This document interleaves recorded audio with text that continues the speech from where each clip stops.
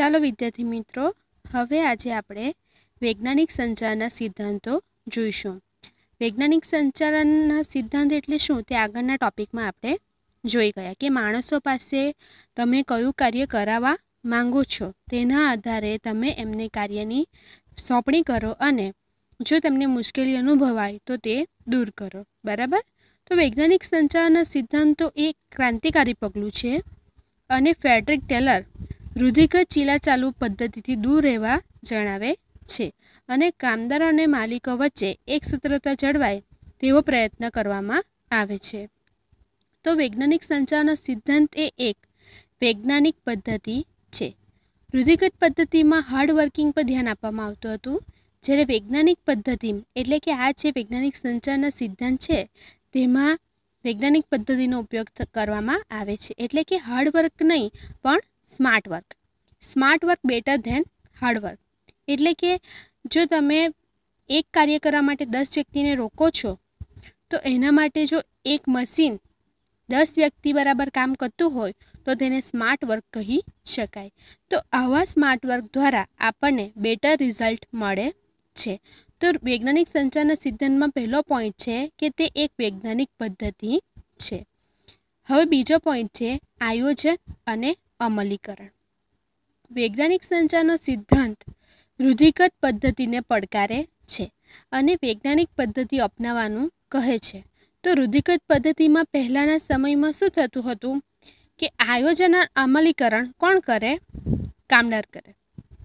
આયોજન પણ કરે અને અમલીકરણ પણ કરે. જ્યારે વૈજ્ઞાનિક પદ્ધતિમાં આયોજન કોણ કરે? નિષ્ણાંત કરે. અને અમલીકરણ કોણ કરે? કામદાર કરે. એના માટે આપણે એક ઉદાહરણ લઈએ કે કન્સ્ટ્રક્શનનું કામ છે. તો આપણે જાણીએ જ છીએ કે જ્યારે આપણે ઘર બનાવવાના હોય, ત્યારે તેનો પ્લાન કોણ તૈયાર કરે? જે કન્સ્ટ્રક્શનનું કાર્ય કરે છે તે વ્યક્તિ. બરાબર? તે શું કરે? ઘરનો પ્લાન તૈયાર કરે. એટલે કે ઘર કઈ રીતનું બનાવવાનું છે? અને એ બનાવવાનું કાર્ય કોણ કરે? જે કામદાર છે તે, બરાબર? તો પહેલાંના સમયમાં શું કરતા કે પ્લાનિંગ પણ એ લોકોએ કરવાનું અને એનો અમલીકરણ પણ કામદારે કરવાનું. તો આપણે જે નિષ્ણાત વ્યક્તિ છે તેને આ કામ સોંપીએ. શાનું કામ? આયોજનનું કામ. જેમ કે વેચાણકર્તા છે, તો તેનું પ્લાનિંગ કોણ કરે? વેચાણકર્તા કરે. બરાબર?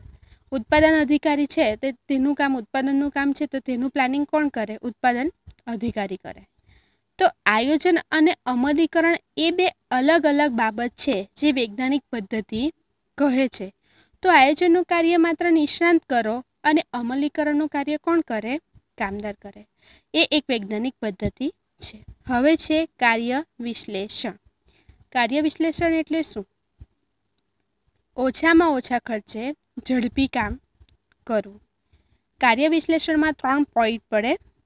એક તો સમય નિરીક્ષણ બીજું છે ગતિ નિરીક્ષણ અને ત્રીજું છે થાક નિરીક્ષણ.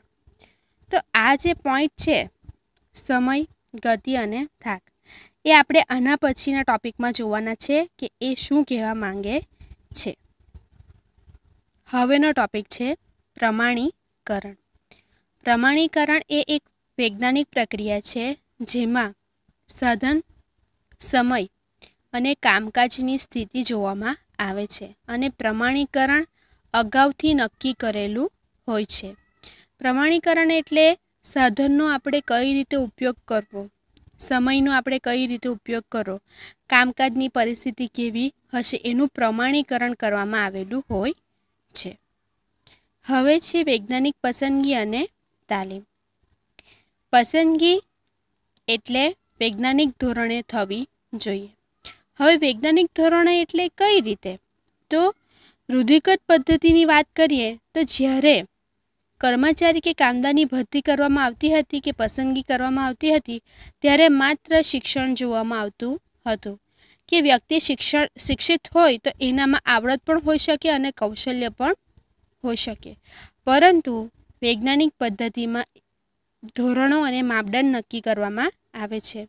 જેમ કે વ્યક્તિ શિક્ષિત હોવો જોઈએ એની પાસે એ કામ અંગે આવડત હોવું જોઈએ, કૌશલ્ય હોવી જોઈએ, એના માટે એની પાસે શારીરિક શક્તિ હોવી જોઈએ.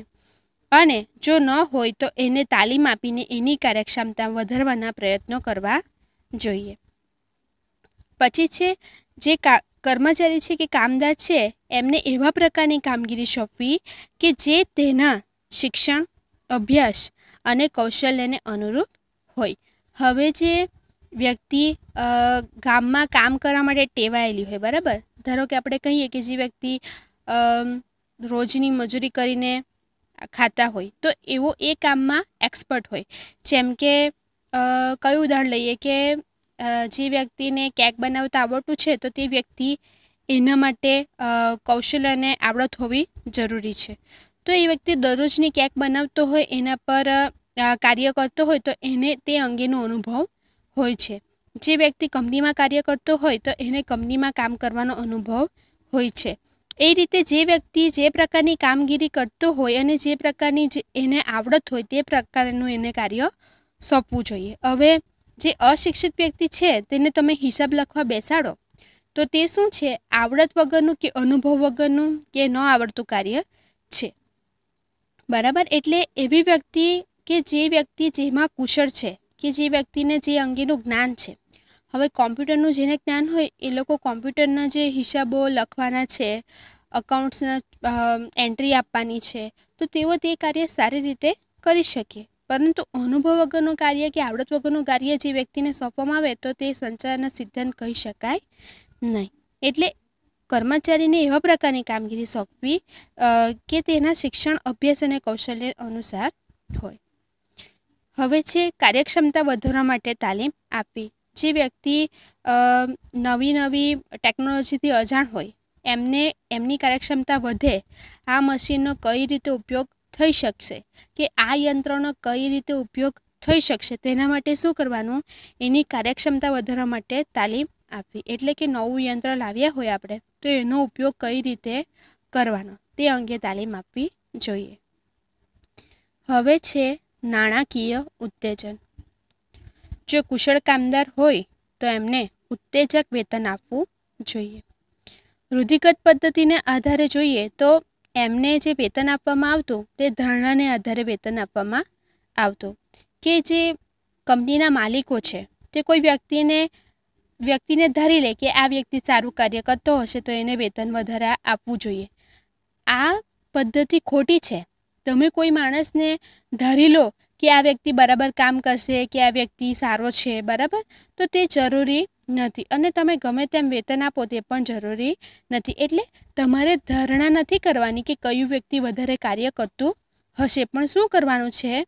તમારે વૈજ્ઞાનિક પદ્ધતિમાં અભ્યાસ કરવાનો છે કે કામદાર કયું કામ કરે છે, કામદાર કેટલું કામ કરે છે. બરાબર?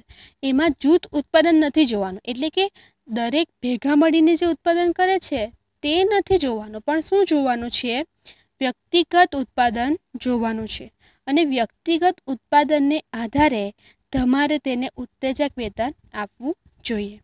આ વાત તો આપણે આગળના ટોપિકમાં પણ કરી ગયા કે જે વ્યક્તિ ઝડપથી કાર્યક્ષમતા પ્રમાણે કાર્ય કરે છે, તેને તેની કક્ષાના વેતન કરતાં ત્રીસથી સો ટકા જેટલું વેતન વધારે આપવું જોઈએ. તો વ્યક્તિ ઝડપથી કાર્ય કરવા માટે પ્રેરાય છે. એટલે કુશળ કામદારને નાણાકીય ઉત્તેજન આપવું ખૂબ જ જરૂરી છે. એવું કોણ કહે છે? ફેડરિક ટેલરનો વૈજ્ઞાનિક સિદ્ધાંત. ઓકે? હવે છે કરકસર કરકસર એટલે વૈજ્ઞાનિક ટેકનિકલ બાબતમાં જો ધ્યાનમાં લેવામાં આવે તો શું? કે પડતરમાં ઘટાડો હોવો જોઈએ અને નફામાં વધારો હોવો જોઈએ. એટલે તમે વૈજ્ઞાનિક પદ્ધતિ તો અપનાવો, પણ એવી અલગ અલગ પદ્ધતિનો વિચાર કરવો જોઈએ કે જેમાં જે એકમ છે કે વસ્તુ છે તેની પડતર ઓછી આવે અને નફો વધારે થાય. હવે લાસ્ટ પોઈન્ટ છે માનસિક ક્રાંતિ. તો આપણે જ્યારે ધ્યેય સિદ્ધિ કરવાની હોય, તો માલિકો અને કામદારો બંને ધ્યેય સિદ્ધિમાં મદદરૂપ બને. પણ માલિકો શું કરે કે એનું ધ્યેય શું છે નફો મેળવવો, કેવો? વધુને વધુ નફો મેળવવો. અને કામદારોનો ધ્યેય કેવો છે? કે વધુને વધુ વેતન મેળવવું. બરાબર? તો આ માલિકો અને કામદારો છે તેની વચ્ચે ઘર્ષણ ઊભું થાય. કેમ? માલિકો જો નફો વધુ લે, તો કામદારને વેતન ઓછું મળે. અને જો કામદારને માલિકો વેતન વધારે આપવા જાય, તો માલિકોના ભાગે નફો ઓછો આવે. તો આ તણાવ ઘટે એના માટે માલિકો અને કામદારો વચ્ચે સંવાદિતા એટલે કે સારા સંબંધો જળવાવા જોઈએ, જેને કારણે કામદારો અને માલિકો વચ્ચે તણાવ ઘટે. એ એક માનસિક ક્રાંતિ છે. જે રીતે ઔદ્યોગિક ક્રાંતિ છે, તેવી રીતે આ પણ એક માનસિક ક્રાંતિ છે. કોના વચ્ચે? કામદારો અને માલિકો વચ્ચે. તો વિદ્યાર્થી મિત્રો આ ખૂબ જ આઈએમપી ક્વેશ્ચન હતો. ત્રણ માર્ક્સમાં પૂછી શકાય તેવો. ફેડરિક તેલાના વૈજ્ઞાનિક સિદ્ધાંતો સમજાવો. ધ્યાનથી બે વાર વીડિયો જોજો અને કંઈ પણ ન સમજ પડે તો મને કોલ કરજો. Okay thank you